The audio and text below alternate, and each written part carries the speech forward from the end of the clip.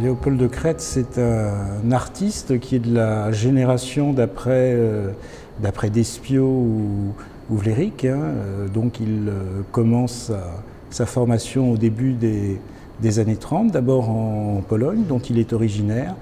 alors ce qui, est intéressant, c'est qu'il a voulu d'abord s'orienter sur la, peinture.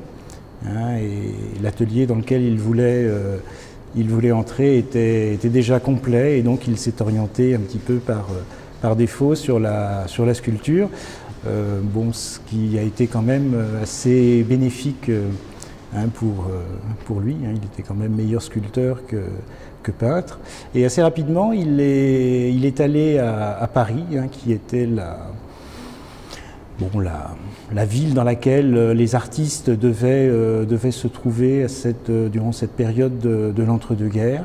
Et là, il a, poursuivi sa, formation.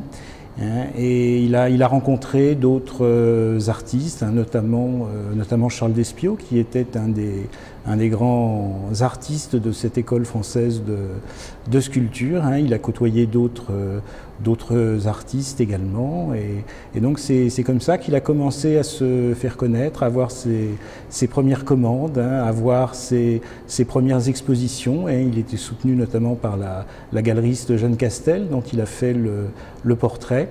Et, donc après, euh, la, Deuxième Guerre mondiale, il a poursuivi sa, production, étant très attaché à cet héritage de la, sculpture figurative hein, qui avait été porté par euh, des, sculpteurs comme, euh, Charles Despiot.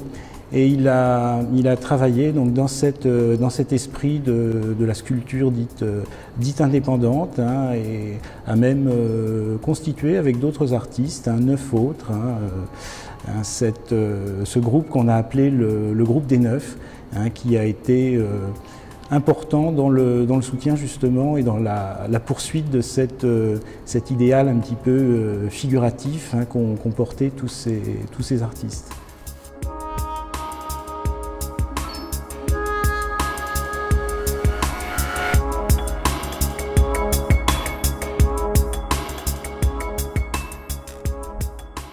C'est un artiste euh, assez particulier parce qu'il utilise des techniques euh, euh, mixtes, des, ajouts de matériaux divers, comme par exemple des, textiles enduits de plâtre, beaucoup d'ajouts de plastiline, des superpositions de, patines différentes.